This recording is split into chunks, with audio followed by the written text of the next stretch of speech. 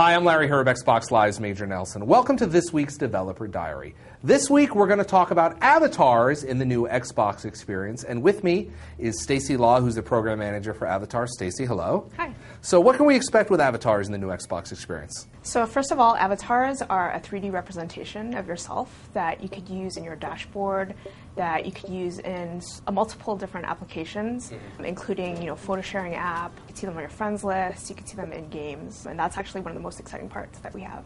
In addition, I can also take my avatar and I can dress him or her up, right? Right. One of the first things that you'll be able to do when you turn on the new Xbox experience this fall is that you'll be asked to create an avatar. And when you create the avatar, you could customize the facial features, but at the same time, you can dress them up in clothes that you want to wear. You could put earrings on them, you could choose the shoes that you put on them, you could choose you know, different jackets and just customize them however you'd like. Avatars can also be used in Xbox 360 games, and Scott Brody is going to tell us about that. So, Scott, these are free updates that are going to be available for Xbox Live Arcade titles and retail titles over Xbox Live, correct?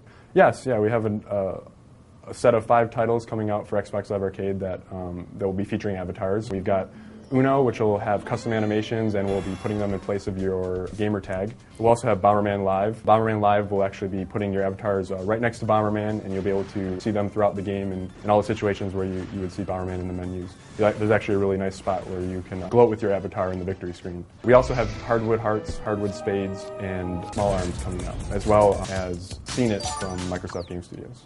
What has been the reception by the publishers and the avatars? They must be excited to be able to use them. They've been really excited, um, both with avatars in Live Party. Um, we've been really excited to uh, to see that uh, a lot of publishers are really looking to integrate avatars into their titles.